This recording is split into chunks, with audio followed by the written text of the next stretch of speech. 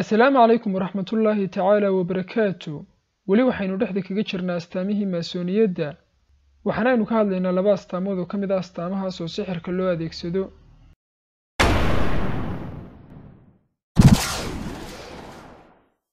Astaanta hore waa waxa loo yaqaano bisha. Bishu waa astaan islaamka lagu yaqaano oo u gaar ahayd balse sidee ayay maasooniyaddu bisha ku hanatay una adeegsatay bisha islaamka ee saxda ahi waxa ay leedahay qaabka xarafka carabiga ah ee ra ama sidaynu soomaali ahaan u naqaano bil caanushbatay oo dhinac u janjeedha waana bisha saxda ah ee calamada islaamka iyo masaajideenaba astaanta looga dhigi jiray. Balse mar dhexe oo ku aadan waayihii dowladdii cusmaaniyiinta ayaa bisheennii islaamka ee xarafka ra ee af carabiga ah u ekayd qaabkeedii loo dooriyey qaabka xarafka soomaaliga ah ee ca ama xarafka ingiriisida ah ee c xidigtii maasooniyaddana lagu biiriyey oo calamadeenna iyo masaajideenaba lagu xardhay dowladdii ugu horreysay ee islaama ee calankeeda ku duugtaana waxay ahayd khilaafadii islaamka ee cusmaaniyiinta oo waayaheedii dhexe ay maasooniyaddu toos faraha ula gashay. Sidii ay maalinba dhan uga uusmiiranaysayna ay aakhirkii dumisay beddelkeediina ay dhistay jamhuuriyadda turkiga.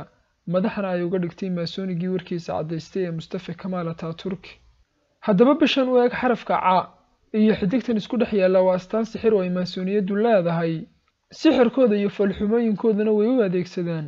Calamadeennana inay ku xardhanaato ama masaajideenna ka qotontaana waa gef weyn iyo moogganaanina hadhaysay oo aynu digtoonideennii dayacnay. Waana inaynu wax ka qabannaa oo gacanta ula tagnaa oo hagaajinaa wixii xumaaday ee moogganaanta iyo jaahilnimadu inoo geysay.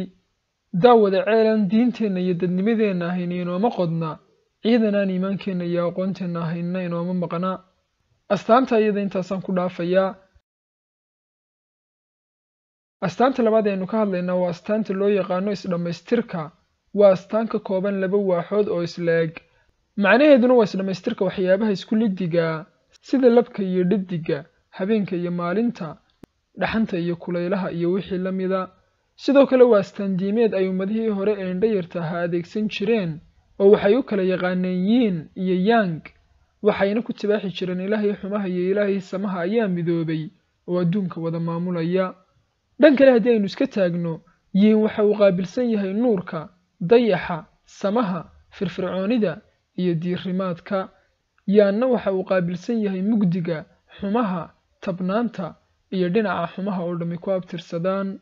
Calaamadani macnaha guud ee ay sixirka ugu fadhidaa waa in wax kasta oo wanaagsanba wax xumaana lagu dhex qaso haba yaraata hadday doonto xumaantaasiye kaasina waa macnaha qudha ee sida muuqaalka guud ah looga hayo. Laakiin macnaha dhabtaha ee ay sixirka u qaabilsan tahay innagu kama faalloon karno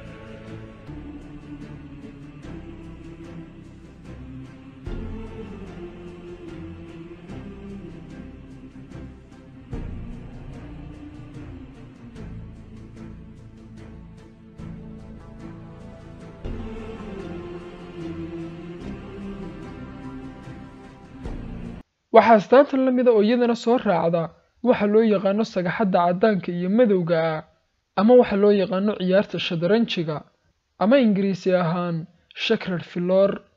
Waa muuqaal sidii qaab marmar ama balaad oo kale ah waxaa aalaaba la dhigaa guryaha xafiisyada iyo goobaha cibaadada ee maasooniyadda iyo sidoo kale meelaha sixirka lagu sameeyo iyo goobaha soo xaadirinta shayddaanka haddii aan astaantani meesha ka muuqanaynna wax sixir ahi meeshaa kama dhacayo.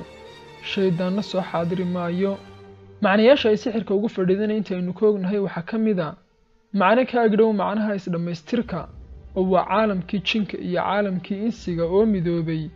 Adduunkana dhan wada jeedinaya oo cibaado qura wada haysta. Jinka iyo insiga oo dhanna ujeedku maaha ee waa ibliis iyo dajaal muuqaalkan isla egta ah madowgu waxa uu u taagan yahay caalamka jinka caddaankuna caalamka insiga.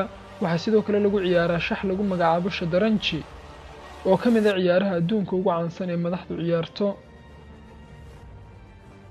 Kani waa sawir aan ka qaaday wiil yar oo walaalkaya oo ingiriiska ka yimi garan uu sitay.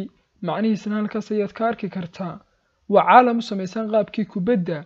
Hareerahana ay kaga wareegsan tahay goobo madowga ahi lugaha uu ku taagan yahay inuu yahay madowga waxaa ka baxsan fallaadh ay ku qoran tahay ereyga higsiga ama gool oo halka loo dalinayahay ee loo jeedo. Goolkaasina waxa uu ku taagan yahay aadamaha. Taas macnaheedu waxa weeyaan caalamkan waxa uu ku taagan yahay lugaha shayddaanka ama caalamkan shayddaanka ayaa maamula. Cidda loo dalinayahay ee dariiqa laga leexinayaana waa insiga oo toos ayay kuugu muuqataa. Sidoo kale waxaa astaantan si la yaab lou fasiraya diriiska ardaydeena dugsiyada sare ay xidhato waa surwaal madow iyo shaadh cad insigii wuu sarreeyaa jinkiina wuu hooseeyaa ama si kale haddaynu u dhigno lugaha lagu taagan yahay ee lagu socdo ee wax lagu kala maamulaa waa shayddaanka yacni shayddaanka wax kala socodsiiya. Daawada astaan kasta markaa tafaasiil yar oo kooban ka hesho adiga ayaa is wadaya oo waxyaabo badan fasiraya laakiinse muhiimaddu waa inaadan ka hadhin ayaad sii baadhaa. Intaas ayaanan maanta ku soo koobayaa